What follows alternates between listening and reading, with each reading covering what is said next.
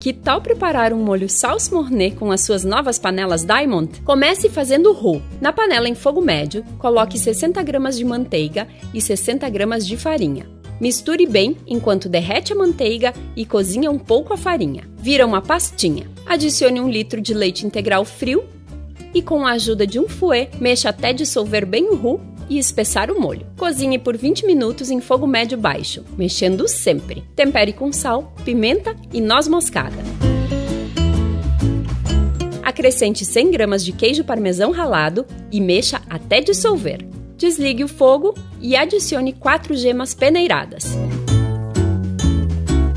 Molho pronto. Agora vamos branquear o brócolis. Em uma panela cozinhe o brócolis por 3 minutos, depois coloque na água com gelo por um minutinho. Agregue o brócolis ao molho com a massa de sua preferência. E se quiser servir com carne, fica perfeito com medalhões de filé.